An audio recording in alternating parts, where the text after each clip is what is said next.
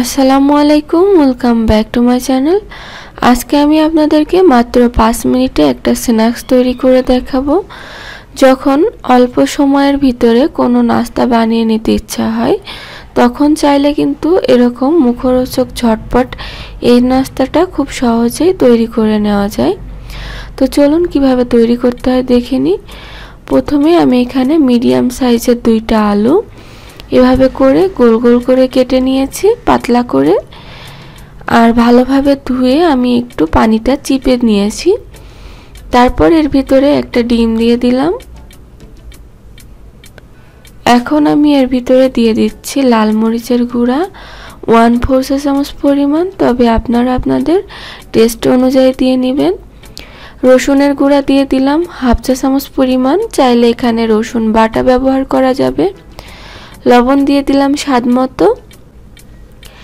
এখন দিয়ে দিচ্ছি গোলমরিচের গুঁড়া ওয়ান ফোর চামচ পরিমাণ। তারপর আমি এখানে ময়দা দিয়ে দিচ্ছি ওয়ান ফোর কাপ পরিমাণ। চাইলে এখানে আটাও দেওয়া যাবে। এখন সব উপকরণগুলোকে খুব ভালোভাবে আমি আলুর সাথে মাখিয়ে নিব। যেহেতু এখানে ডিম দেওয়া আছে প্রথম দিকে একটু ড্রাই মনে হলেও আস্তে আস্তে মাখাতে মাখাতে দেখা যাবে যে এখানে আর পানির কোনো প্রয়োজন নেই। অথবা আমার কিন্তু এখানে কোনো পানি লাগেনি। তবে আপনাদের যদি মনে হয় মাখাতে মাখাতে যে এরকম পানির প্রয়োজন আছে, তাহলে পানি দিতে পারেন। আমি কিন্তু এখানে কোনোই পানি দিইনি। মাখাতে মাখাতে একটু পরে কিন্তু এরকম পানির মতো মনে হয়েছে আমার কাছে। একটা ব্যাটারের মতো তৈরি হয়ে গিয়েছে। তো আমি এখন মাখানো শেষে চুলায় চলে এসেছি। চুলায় একটা প্যান বসিয়ে আমি পরিমাণ মতো তেল নিয়ে তেলটা গরম করে নিয়েছি। আর চুলার আঁচটা মিডিয়াম লোয়ের মাঝামাঝি রেখে মাখানো আলুর স্লাইসগুলোকে দিয়ে দিচ্ছি।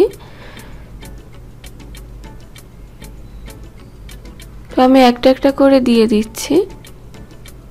আর প্রতিবার আলু দেওয়ার আগে ভালোভাবে ওই ব্যাটারটার ভিতরে একটু ভালোভাবে চুবিয়ে মেখে নিয়ে যদি দেন, তাহলে ব্যাটারটা আলুর গায়ে সুন্দরভাবে লেগে যায়।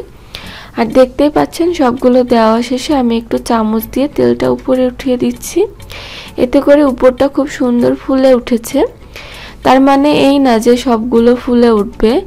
আর এই নাস্তাগুলো না ফুললেও অনেক বেশি মজা লাগে। তো কিছুক্ষণ পরে আমি উল্টিয়ে দিয়েছি আর এইভাবে উল্টিয়ে পাল্টিয়ে গোল্ডেন কালার করে মুচমুচে করে ভেজে নিতে হবে। তো একটু সময় নিয়ে ভাজতে হবে। খুব বেশি সময় লাগে না ভাজতে, তো আমারটা হয়ে গিয়েছে। আমি তেল ছাড়িয়ে উঠিয়ে নিয়ে বাকিগুলো আমি একইভাবে ভেজে নিয়েছি। তো দেখতেই পেলেন কত ঝটপট মাত্র পাঁচ মিনিটের মধ্যে এরকম একটা নাস্তা তৈরি হয়ে গেল। বাচ্চারাও অনেক পছন্দ করবে সেই সাথে বড়রাও।